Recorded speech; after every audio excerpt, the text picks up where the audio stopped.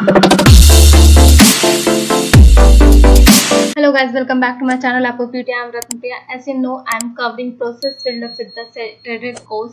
As I covered so many small topics and last topic and modern topic and some courses from the TED course as well as some Vlocity courses and somehow some uh, Salesforce documentation as well. So go and watch if you need that. And uh, let's start this task. That is the last submodule, and I would definitely recommend you to go and watch the last lectures on the process builder. Which uh, why I'm recommending because every task and every challenge is linked with the another next module. And it directly continuing till the end of that lecture. So that's the reason only i'm uh, telling you to watch that. And if you covered already by yourself no need. And you can directly understand if you have any issue with this challenges.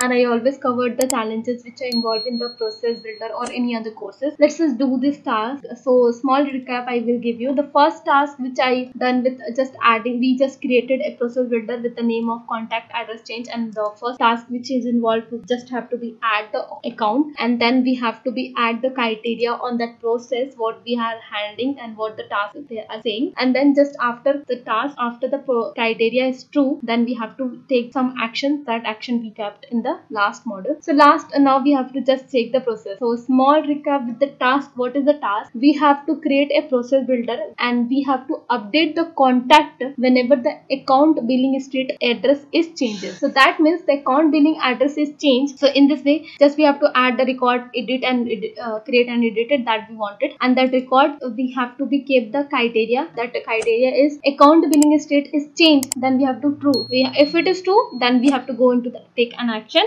The action is account uh, the contact mailing state value must be updated with the account billing state. So that is the scenario and that is the whole task. Take it is coming fine or not. It is working fine or not. So now we have to go into the okay app launcher and then we have to uh, select the contact. Okay let's do the contact. We just have to go into the contact. Okay let's go to the contacts. Okay now we have to be view all contact details. Okay now we have to go into the Tim Barr. Let's do the Tim Barr. Directly we can search it. We need to go that long okay now we have to be select the stream bar. It must be there. Yeah it is there. And then we have to go into the contact re uh, returns and then we have to keep the account. Okay that is the account name we have to check. And this is the account name that we have to be. Now we have to go into the detail page with the mailing and billing address. Okay now we have to go. And this is the mailing address. Okay and the next account name and mailing address is there. Okay now we already saw this one. The first is the account name and second is the mailing address. Now we have to go into the account. Okay let's go into the account. It will directly go. And then we have to open the details and edit the address. Edit the billing street address. We are talking in the account we are talking about the billing street. And in the contact there is only one contact having only one address. That is the mailing street. Okay now we have to go into the billing street. Okay let's search that